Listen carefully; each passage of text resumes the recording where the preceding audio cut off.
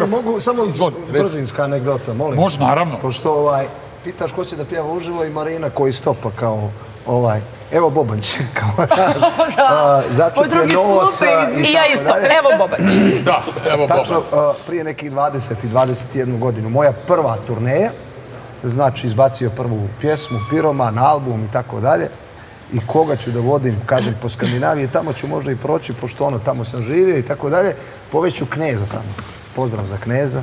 Neće mi zamjeriti na ovoj priči. Knez I sad prvi je nastup u Malme, drugi nastup Göteborg, četvrti, treći, četvrti, treći Štokholm i Kopenhagen.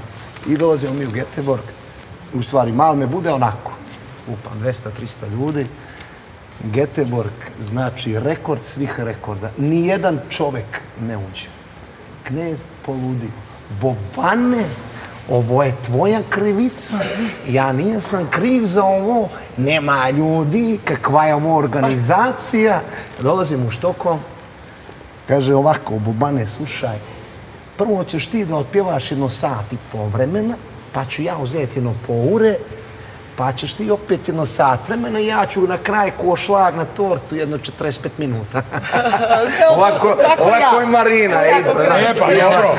Pa dobro, takva su vremena bila. Dobro, pa šta da radimo? Ovaj, tako da pozdrav za Nenada, brata, međutim onda četvrti koncert u Kopenhagenu bio Ludilo. krcat i on kaže, Bobane, slušaj ovako, ja ću izaći na dvije ure da otpjevam, pa ćeš ti tortu, to. Pa normalno.